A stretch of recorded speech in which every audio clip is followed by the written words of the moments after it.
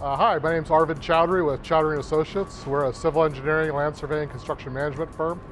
And we've been in that line of work now for almost 35 years in Northern California, primarily in the Bay Area. Our primary clients are Caltrans and Caltrans related agencies that do Caltrans type work. So Contra Costa Transportation Authority, San Francisco Transportation Authority, Alameda County, uh, Valley Transportation Authority, and uh, cities and counties throughout California. Uh, right now we have approximately 30 people working. Uh, we're, we're, always looking for opportunities to add to our staff.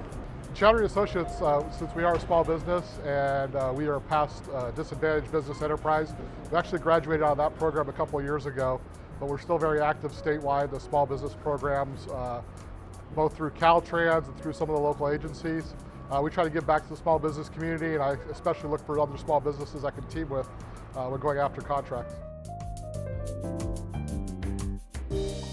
Uh, for the Webcor contract for the Transbay uh, Authority, we are doing land surveying primarily in the realm of control surveys. So what we do is we work with the general Webcor and we verify that the control points that the other contractors are using all fit exactly. Uh, with this project, the tolerances are down to millimeters with some of these tall skyscrapers, so we have to make sure everything is lined up properly and exact and everything's coordinated throughout the project.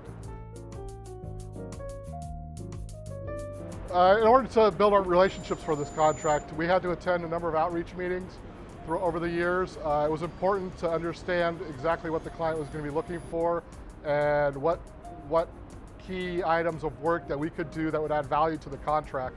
So we, we got to know some of the staff involved, both from the, the authority and from some of the contractors and the design team.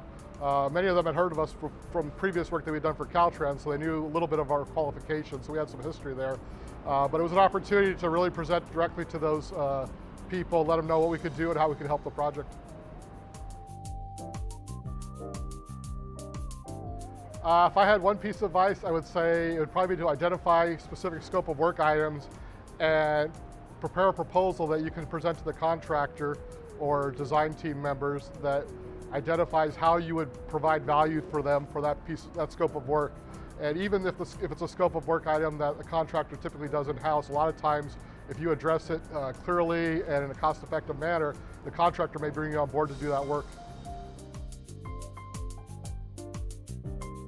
Uh, the Transbay Terminal project is uh, very important to Chowdhury Associates, and we feel we have a key role providing uh, quality control surveys and control surveys to the contractors involved and making sure this great project moves forward.